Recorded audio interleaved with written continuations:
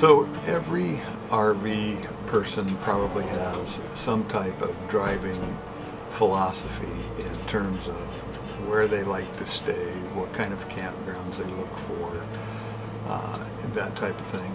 And today uh, we are in uh, perhaps what represents our philosophy pretty well. We're in a small town in Wisconsin in a very small campground that only has a couple other people staying in it. And it's just beautiful here. And it's a small town that's thriving. It's got a population of like 845 or something like that.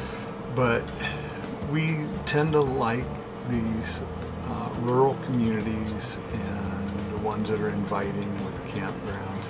They're sometimes they're free to stay in, but at worst they're usually very inexpensive. Like this is like less than fifteen dollars a night, and it includes electricity and water, and they have a dump station.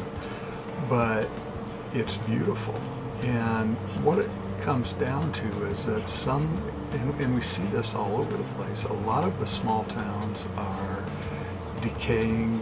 Um, I, I don't know if drying up's the right word, but the population's dwindling, and I'm sure that this town, uh, Blanchardville, Wisconsin, has lost people over the years uh, simply because the farming and dairy operations don't require that many people like they used to. So economic opportunities are a little bit more limited. But the difference is that some of these small towns have such pride and I don't know if they have more resources or what their advantages are.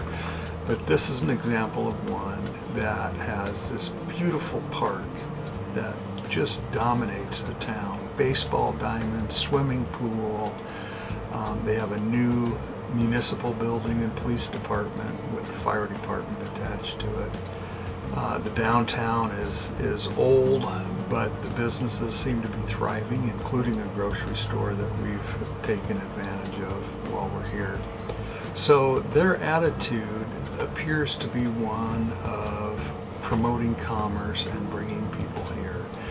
And my neighbors that were here the day we first arrived, um, Rudy and Chris, had stopped in because they're part of a thing called Cannonball Run.